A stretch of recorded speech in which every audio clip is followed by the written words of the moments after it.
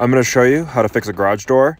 Uh, this has to do with the cable, kind of came off the pulley, and the garage door is not going up or down that well.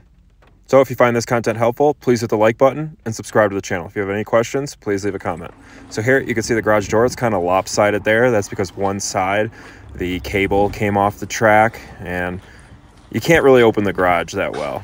You can force it open, but uh, it's very difficult because of the uneven force. You can see there, that's the cable off. It should be wrapped around that pulley nicely.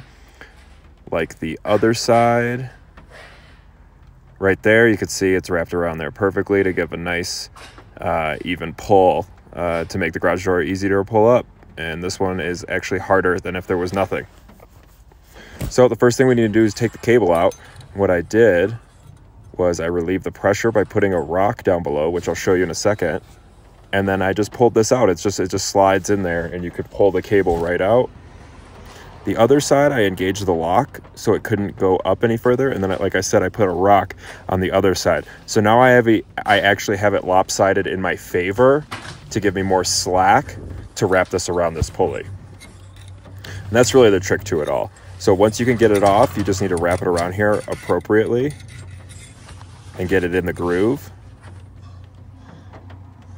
And it's kind of pulled in a wonky way, but if you can give yourself enough slack, you can just slip it on this pulley and then it'll go right in the track down below. And you can see I got it slipped on there.